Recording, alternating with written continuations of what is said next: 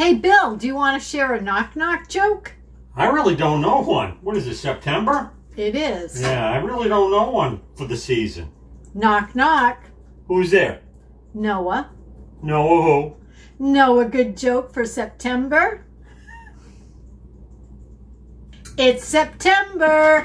Hey, everybody, it's Shelby with a Chick Plus Three, and Bill.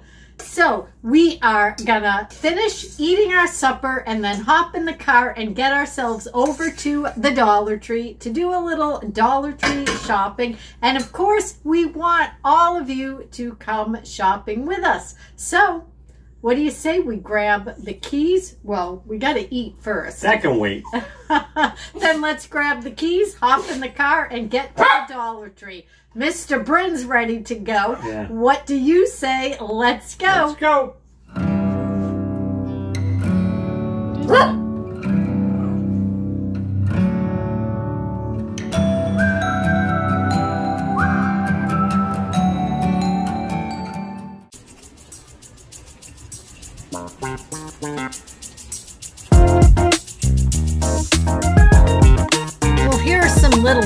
Gnomes decked out for fall. The colors are really pretty, like all of the foliage here in upstate New York. Uh, the quality of these, I don't know, not the greatest, but they do come in at $1.25 a piece.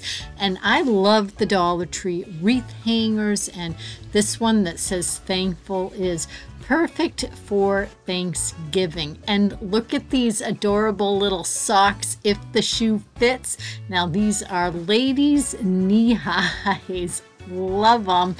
And Bill has found some of the pumpkin glass jars. They have the copper colored metal lids, so it's in that beautiful orange or the clear glass. Would look really pretty, that one filled with candy corn.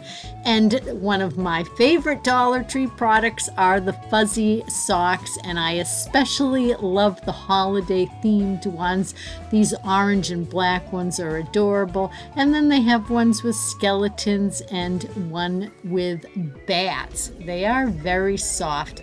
Now, if you have not checked out any of the Halloween signs at the Dollar Tree this year and you do celebrate Halloween, you may want to get yourself over there because look at these signs. They're unbelievable this year. And right here next to the signs, Bill found a really nice golf shirt, guys. I am impressed with the quality of this thing. But back to the signs. Look at this one Cauldron Supply. And this has a cool vintagey look. It looks like a card. Now, I myself am not into skeletons, but if you are, there's all kinds to pick from from the Dollar Tree. There's the cutesy Halloween decor, which is more my style. And then there are things that are a little bit creepier. The graphics on these are really cool, but uh, Bill is definitely not a fan of coffin shaped items, so these we're going to pass on for our household. But look at this candy corn, the trick or treat with the cute little bow on the top, served daily witch's brew in a cauldron shaped sign. And then look at that moon with the witch welcome Halloween. I could go crazy in here, let me tell you. But I've told you guys, I think the past couple of days I've got a couple of totes of Halloween decor to go through.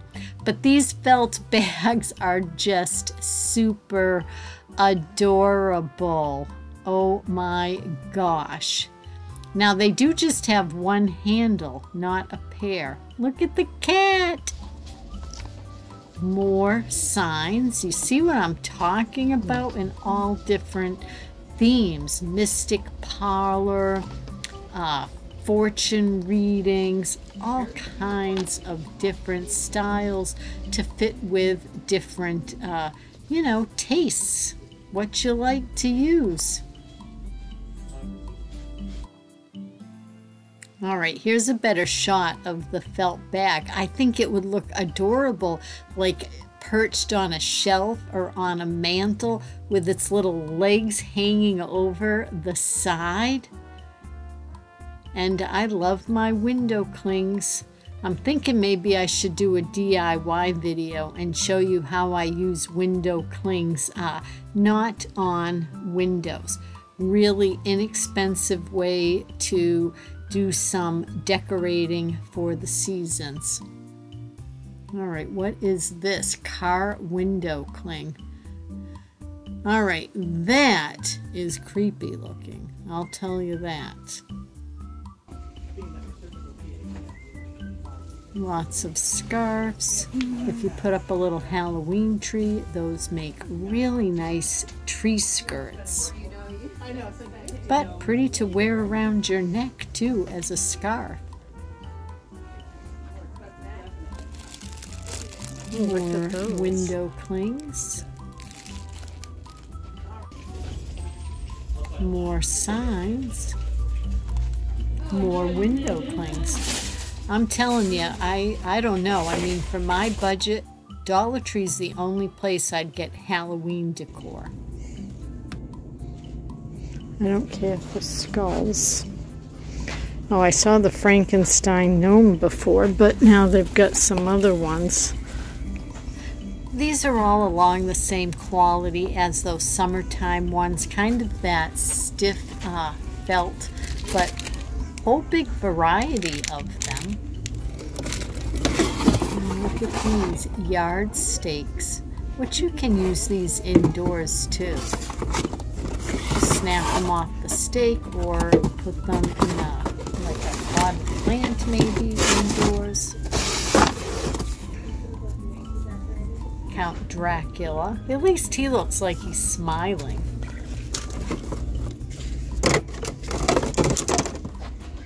What's this? A big plastic bone. I'd be afraid my dogs would go to chew that thing up. Oh, this is really light. Very like 1920s looking. See these crystal balls? Oh, that's kind of cool, Bill. Oh, and it screws open. So, like a candy jar, or you could put lights in it and make a craft.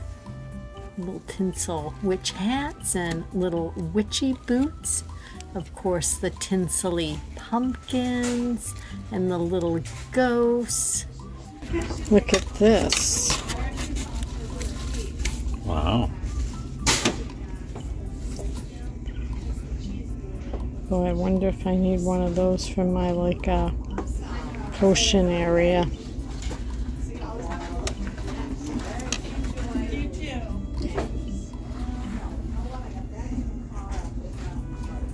Some more little bags of plastic skulls. Again, skulls aren't, uh, you know, my thing, but they have a lot of them.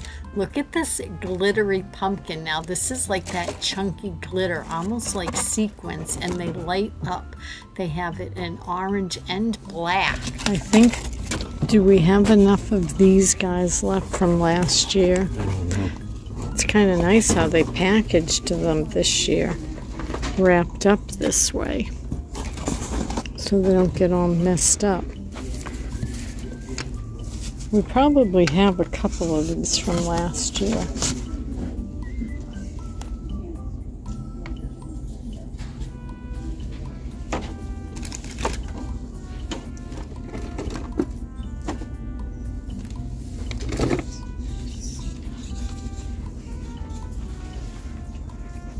Gnome socks. Look at those black cats up there.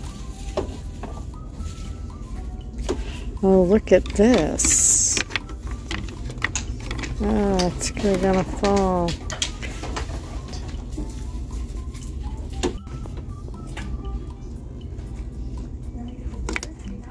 Isn't it? Mm-hmm.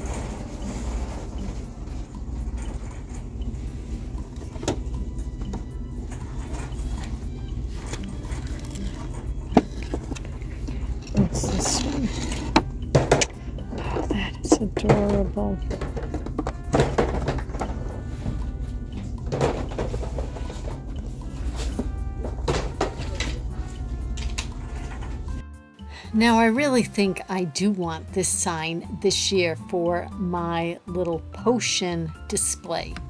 So many new designs this year in these mason jars.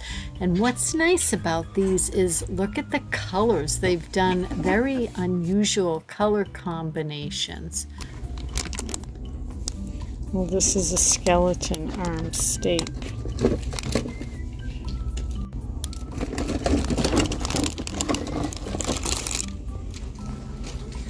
Well, they have all the skeleton parts, and these are all like feeling really heavy duty plastic. This one even glows in the dark, so uh, maybe if you do an outdoor display, I'm thinking. Now, somebody showed something like that one from Joann's, and it was like eight bucks. Looked like the exact same thing. We have the gray creepy cloth this year besides the black and the beige.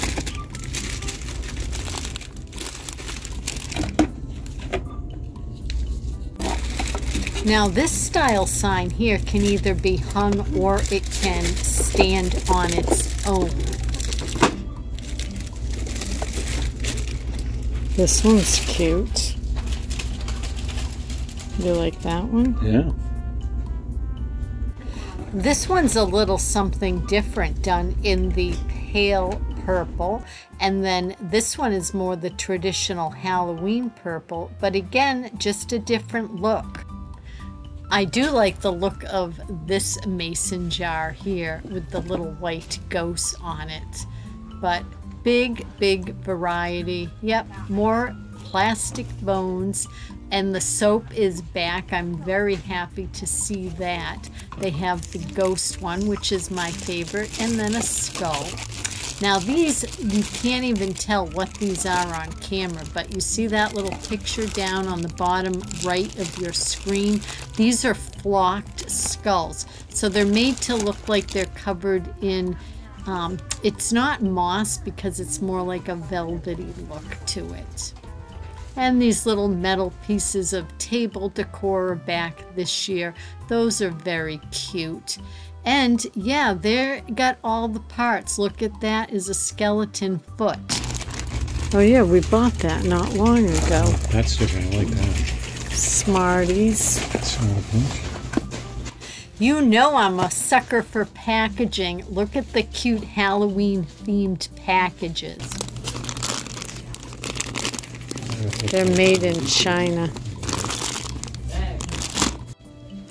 I love seeing all the new Halloween candy. Colombina Spooktacular Gummies Mix. And they come in three, yes, three different flavors. And what fun shapes. And I just love paper plates. And look at these the purple and the green. And you get 17, no, 16. 16 plates. That seems like a decent amount. Look at all the stuff. Oh, they got these little like glittery bows back this year in packs of threes. All kinds of flowers. I love these little wind up toys. We've had them in the past and they work. This jack-o'-lantern again looks very vintagey. And these are perfect for Halloween decorating too. These are great, these candles, and they have them in the purple and the black and the white. And here are some orange tapers. So again, great for holiday decorating. Now, at the end of today's video, I have a wonderful viewer friend photo sent in to me by my very talented friend Barbara, and it fits perfect with the season. Look at this gorgeous wreath that Barbara created, and it says, Give thanks. This craft photo share, or just any photo share for that matter, is open to everybody. It's an ongoing project. I'll include my email right here, and I'd love it if you would send to me some photos to share in an upcoming video.